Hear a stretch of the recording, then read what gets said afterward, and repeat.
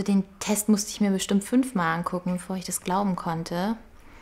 Ja, und dann bin ich hoch ins Schlafzimmer gerannt und da schossen mir erstmal tausend Gedanken durch den Kopf.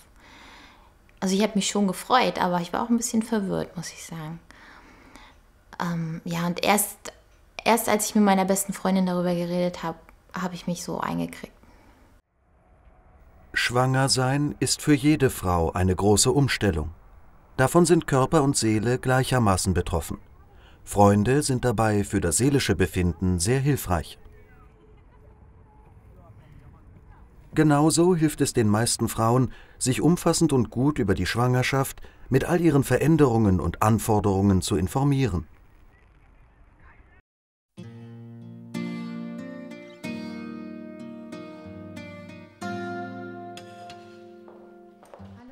Katrin Witt stellt sich nach dem positiven Schwangerschaftstest bei ihrer Frauenärztin Frau Dr. Löck vor. Schwangerschaften verlaufen heute bei uns meistens reibungslos. Das verdanken wir vor allem der guten medizinischen Versorgung. Vorsorgeuntersuchungen und Maßnahmen wie zum Beispiel die zusätzliche Einnahme von Folsäure und weiteren Vitalstoffen haben die Rate von Früh- und Fehlgeburten sowie Fehlbildungen enorm gesenkt. Auch das Verständnis und Verhalten der Schwangeren hilft, solche Dinge zu vermeiden. Dazu gehört auch, dass auf Alkohol und Nikotin am besten ganz verzichtet wird. Das Vertrauensverhältnis zwischen Arzt und Schwangerer ist wichtig, denn die Schwangere soll sich sicher fühlen, dass wir alles richtig machen. Sie soll den Mut haben, all ihre Fragen stellen zu können und das Gefühl bekommen, ihre Schwangerschaft rundherum genießen zu können. Das müsste der 10.9. gewesen sein. Okay. Beim Termin heute werden nach einem langen Gespräch erst einmal die Schwangerschaftswoche bestimmt und der voraussichtliche Geburtstermin berechnet. Frau Dr. Lög trägt wichtige Daten in den sogenannten Mutterpass ein – ein Büchlein, das Katrin Witt die Schwangerschaft über begleiten wird. Und das Gewicht vor Beginn der Schwangerschaft. 70. Im Mutterpass werden alle Ergebnisse der Vorsorgeuntersuchungen eingetragen. Das sind Untersuchungen, die zu Beginn der Schwangerschaft einmal im Monat, später dann alle zwei Wochen stattfinden. So kommen in diesem Büchlein alle Informationen über die Schwangerschaft zusammen und können bei der Geburt oder auch bei Zwischenfällen in der Schwangerschaft eine wichtige Hilfe sein. Deswegen sollten Schwangere ihren Mutterpass immer bei sich tragen. So, Frau dann werde ich etwas Blut. Nach dem ausführlichen Vorgespräch werden die nächsten wichtigen Informationen für den Mutterpass bei der Blutuntersuchung gewonnen. Es wird geprüft, welche Blutgruppe vorliegt und ob die Mutter gegen bestimmte Krankheiten wie Toxoplasmose, Röteln oder Ringröteln geimpft ist oder diese schon mal durchgemacht hat.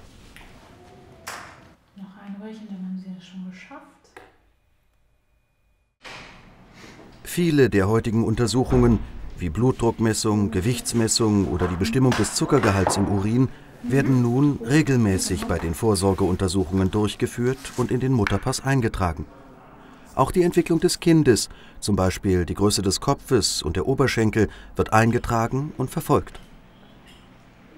Wichtig ist für die Mutter, dass sie in der Schwangerschaft nicht für zwei ist. Das wäre viel zu viel, denn die Gewichtszunahme sollte in der gesamten Schwangerschaft nur 12 bis 16 Kilogramm betragen. Man sollte vielmehr auf eine ausgewogene Ernährung achten, mit ungefähr 50 Prozent Kohlenhydraten, 30 Prozent Fetten und 20 Prozent Eiweißen. So, mal. Ultraschalluntersuchungen, also die Darstellung des Kindes mit Hilfe von Schallwellen, die nicht schädlich sind, finden meist alle drei Monate statt. Das erste Mal den Nachwuchs zu sehen, ist ein ganz besonderer Moment. Was man natürlich im Ultraschall jetzt nicht mehr sehen kann, ist das faszinierende Naturschauspiel im Unterleib der Mutter, das bis hierhin schon stattgefunden hat.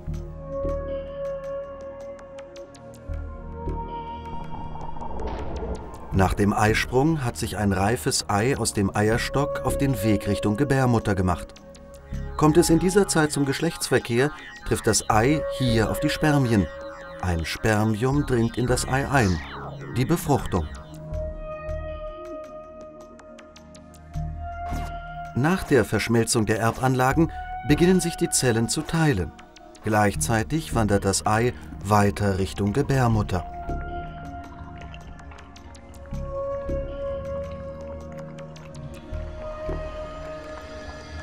Dort angekommen, findet das Ei ein geeignetes Plätzchen, um sich niederzulassen.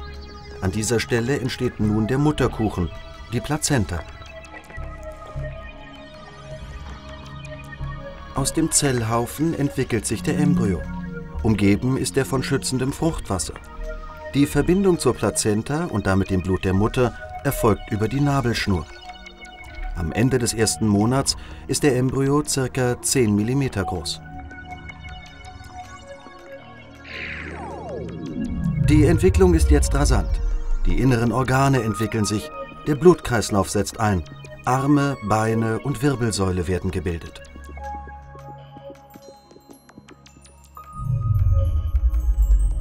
Am Ende des dritten Monats misst der Embryo schon ganze 5 cm. Die Geschlechtsorgane bilden sich aus und er beginnt mit ersten Bewegungen. Nebenbei bemerkt, die Mutter spürt diese erst ein paar Wochen später. In der Schwangerschaft ist der Bedarf an Vitaminen, Spurenelementen und Mineralstoffen erhöht. Das liegt daran, dass der Körper diese Stoffe zum Teil selbst nicht bilden kann.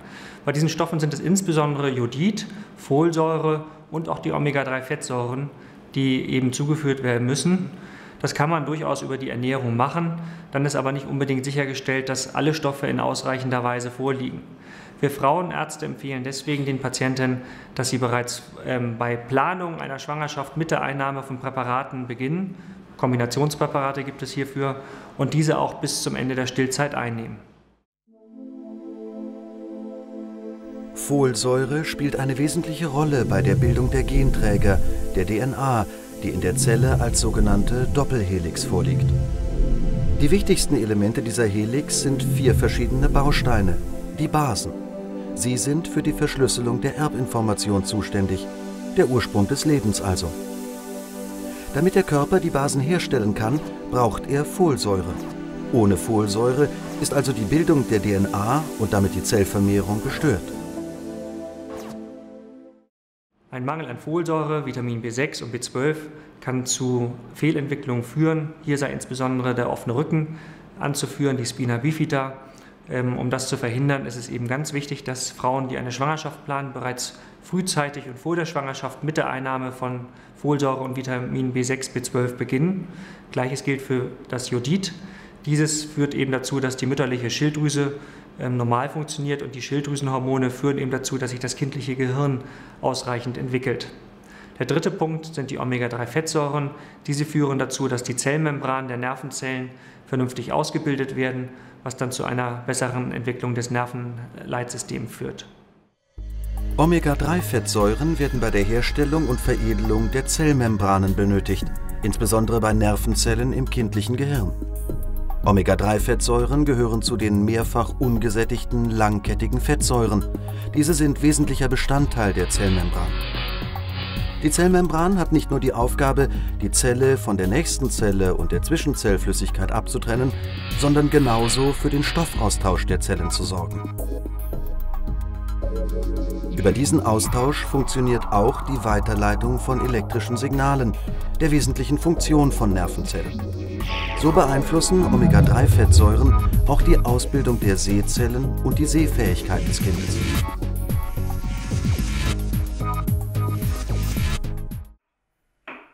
Katrin Witt hat ihren Speiseplan umgestellt. Eine gesunde Ernährung in der Schwangerschaft sollte alle wichtigen Vitalstoffe enthalten. Die notwendigen Vitamine sind vorrangig in Obst und Gemüse enthalten. Viel Jod und Omega-3-Fettsäuren finden sich in Seefisch und Meeresfrüchten, die mindestens zweimal pro Woche auf dem Speiseplan stehen müssen, um relevante Mengen aufzunehmen. Mineralstoffe, wie zum Beispiel Calcium, sind in Milchprodukten und Vollkornbrot enthalten. Da es nicht immer einfach ist, diese Anforderungen wirklich über den gesamten Zeitraum, vom Kinderwunsch über die Schwangerschaft bis zum Ende der Stillzeit zu erfüllen, bietet sich heute die Ergänzung durch entsprechend abgestimmte Vitalstoffprodukte an. Dies ist eine einfache und sehr verträgliche Form, um den notwendigen täglichen Bedarf für Mutter und Kind zu gewährleisten.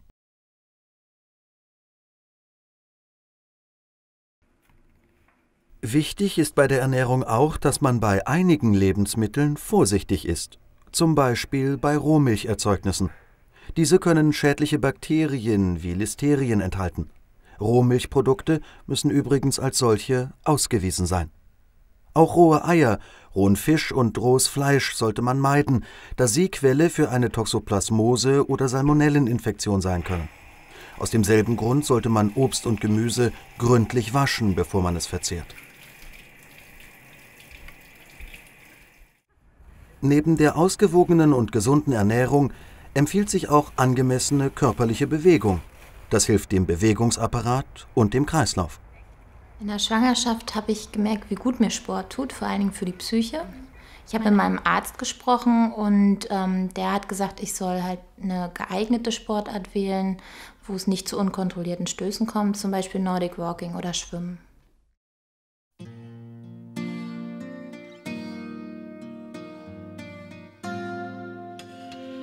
In der zwölften Schwangerschaftswoche sind jetzt alle Organe angelegt. Das Gehirn beginnt die Bewegungen, die jetzt immer häufiger werden, zu koordinieren. Für die Mutter beginnt meist zwischen der 16. und 20. Woche die Zeit, wo sie ihren Nachwuchs bzw. dessen Boxschläge spürt. Meistens wird das als sehr beruhigend empfunden. Auch die Sinnesorgane werden beim Fetus jetzt ausgebildet. Er nimmt zum ersten Mal seine Umwelt wahr. Gegen unangenehmen Krach wehren sich die Kleinen jetzt häufig durch wildes Strampeln. Die Stimme der Mutter oder des Vaters sind dagegen sehr willkommen. Am Ende der ersten Schwangerschaftshälfte wiegt das Kind 200 Gramm und ist ca. 19 cm lang.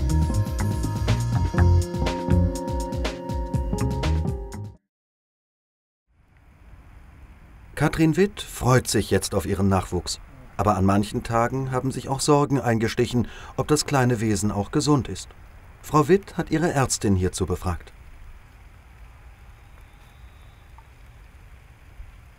Bei jedem Ultraschall wird untersucht, ob es beim Kind Auffälligkeiten gibt. In bestimmten Situationen empfehlen wir zusätzliche Untersuchungen, wie zum Beispiel die Messung der Nackenfaltentransparenz circa in der 13. 14. Schwangerschaftswoche. Diese Untersuchung ist risikolos und kann in Kombination mit bestimmten Hormonwerten aus dem Blut der Mutter recht verlässliche Ergebnisse liefern zur Risikoabschätzung bestimmter Erbkrankheiten. Sollten sich hier Auffälligkeiten ergeben, können weitere Untersuchungen wie zum Beispiel die Fruchtwasserpunktion angeschlossen werden. Die zweite gesetzlich vorgeschriebene Ultraschalluntersuchung findet um die 20. Schwangerschaftswoche statt. Sie wird häufig auch Feindiagnostik genannt, weil man dabei sehr genau jedes einzelne Organ, wie hier das Herz, hinsichtlich seiner korrekten Anlage und Entwicklung beurteilt. Meist zur großen Freude der Mutter kann man jetzt auch schon den Gesichtsausdruck des Kindes sehen. Auch das Geschlecht lässt sich häufig erkennen. Man muss es sich allerdings nicht sagen lassen, wenn man die Spannung bis zur Geburt halten möchte. Den Jungen.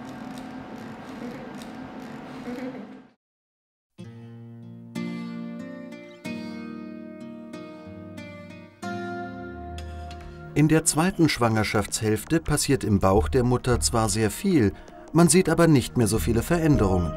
Im Wesentlichen wird das Kind jetzt immer größer und die Sinne bilden sich weiter aus. Im sechsten Monat entwickelt sich ein Schlaf-Wach-Rhythmus, sodass es sein kann, dass das Kind schläft, wenn die Mutter es gerade nicht spürt.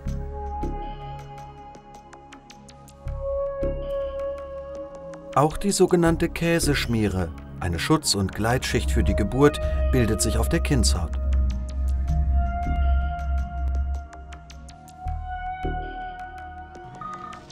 Im siebten Monat macht das Kind vielleicht zum ersten Mal durch einen Schluckauf auf sich aufmerksam. Es kann jetzt auch schon die Augen öffnen und hell-dunkel unterscheiden. Im neunten Monat gehen die meisten Kinder schon in die beste Geburtsposition, mit dem Kopf nach unten. Der letzte Monat ist für das Kind durch zunehmenden Platzmangel geprägt. Das Fruchtwasser wird weniger.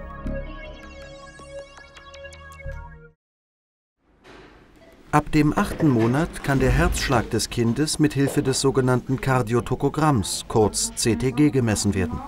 Das Gerät zeichnet auch Anspannungen der Gebärmutter, also Wehen auf. Die Herzfrequenz des Kindes wechselt ständig. Das ist ganz normal. Für den Arzt ist entscheidend, in welchem Maße diese Änderungen stattfinden. Diese Untersuchung wird bei der Geburt dann besonders wichtig. Das CTG hilft zu beurteilen, ob alles in einem normalen Rahmen bleibt oder ob ein zusätzliches Eingreifen notwendig wird. In der zweiten Hälfte der Schwangerschaft ist es sinnvoll für die Mutter, sich Gedanken zu machen über eine Hebamme und darüber, wo und wie sie ihr Kind zur Welt bringen möchte. Eine Hebamme kann gerade bei den letztgenannten Fragen gute Ratschläge und Tipps liefern. Und äh, viele Frauen schätzen es, wenn sie ihre Hebamme frühzeitig kennenlernen und ein Vertrauensverhältnis aufbauen können. Auch der Geburtsvorbereitungskurs ist für Katrin Witt eine große Unterstützung. Hier wird Praktisches, meist unter Anleitung einer Hebamme geübt. Zum Beispiel das Atmen unter der Geburt. Aber es werden auch viele andere Fragen beantwortet. Der Geburtsvorbereitungskurs hilft mir sehr. Ähm, ich habe ja schon auch ein bisschen Angst vor der Geburt, aber die Hebamme beruhigt einen sehr durch ihre Informationen und Tipps.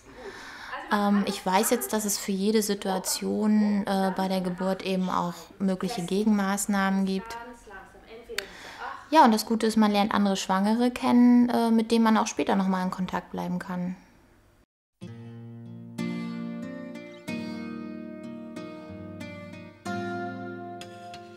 Die Geburt ist sicherlich der Höhepunkt und gleichzeitig der Abschluss der Schwangerschaft. Anatomisch stellt sie eine Herausforderung für das Kind dar. Es muss sich durch den engen Geburtskanal zwängen. Aber keine Angst, die Natur hat sich hierfür ein paar Tricks ausgedacht. Die größten Durchmesser des Kindes, Kopf und Schultern, drehen sich dabei immer genau so, dass genügend Platz da ist.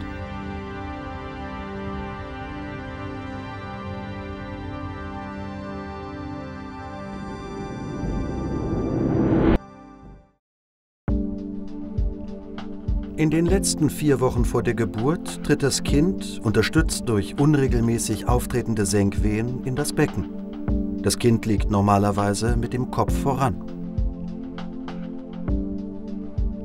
Die Geburt beginnt dann mit den Eröffnungswehen, die anfangs alle zehn Minuten auftreten. Der Muttermund öffnet sich jetzt und das Kind tritt langsam tiefer. In der Austreibungsphase kommen die Wehen alle zwei bis drei Minuten. Der Muttermund ist nun vollständig geöffnet und der Kopf des Kindes verlässt langsam die Gebärmutter. Dabei findet auch der erste Kontakt des kindlichen Organismus mit fremden Keimen, nämlich in der Scheide der Mutter statt. Dies ist eine erste Anregung des kindlichen Immunsystems.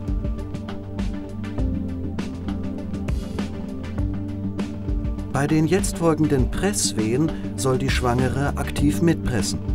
Jetzt treten auch Schultern und Rumpf in den Geburtskanal ein. Das Kind wird geboren und der Mutter in die Arme gelegt. Die Nabelschnur wird abgetrennt, häufig eine Aufgabe für den Vater.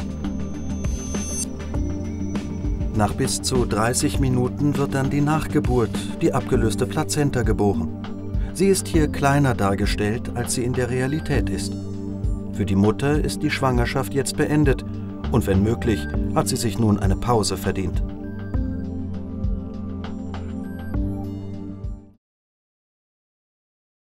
Die Geburt ist für jede Frau ein großes Abenteuer, aber Gott sei Dank ist sie nicht allein dabei, sondern wird durch eine Hebamme die ganze Geburt über unterstützt und begleitet. Für die Mutter ist der Moment, wo sie ihr Kind in den Arm oder auf den Bauch gelegt bekommt, ein unglaublich schöner und weltbewegender Moment. Alle Schmerzen und Anstrengungen der vergangenen Stunden sind vergessen. Aber auch für den Arzt ist das immer wieder ein sehr ergreifendes Erlebnis. Gleichzeitig hat sich jetzt die Aufgabe des Frauenarztes fast erfüllt. Das Kind wird jetzt von den Kinderärzten oder von der Hebamme weiter versorgt. In einigen Fällen ist die Durchführung eines Kaiserschnittes notwendig oder unter Umständen auch gewünscht. Ähm, bei diesem Eingriff wird die Gebärmutter eröffnet und das Kind dann dadurch entbunden. Wenn eine Patientin nun einen Kaiserschnitt auf Wunsch durchführen lassen möchte, muss man sie darüber aufklären, dass doch immer noch ein gewisses Restrisiko vorhanden ist, auch wenn es gering ist, und sie zudem eben auch das Geburtserlebnis nicht haben kann.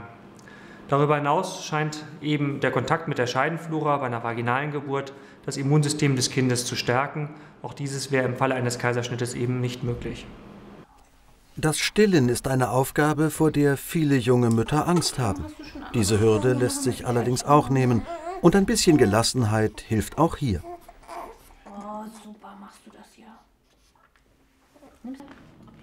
Ich empfehle als Hebamme auf jeden Fall das Stillen. Denn Muttermilch ist die von der Natur vorgesehene Säuglingsernährung. Sie ist optimal in der Zusammensetzung und damit schützt sie vor schweren Infektionen und Allergien und trägt auch noch zur guten Mutter-Kind-Beziehung bei. Für Katrin Witt ist auch bald der Tag der Geburt gekommen. Alle zwei Wochen finden jetzt Vorsorgeuntersuchungen statt. Bisher ist alles gut verlaufen und Katrin Witt ist zuversichtlich. Also mir hat die gute Betreuung meiner Hebamme und meiner Ärztin geholfen. Mir wurden die Fragen alle gut beantwortet. Anfangs war ich ja doch sehr verunsichert. Ähm, und auch mein Partner, meine Freundinnen haben mir sehr geholfen. Ja, jetzt bin ich nur noch gespannt, wie die Geburt verläuft. Ja, aber das werde ich schon schaffen.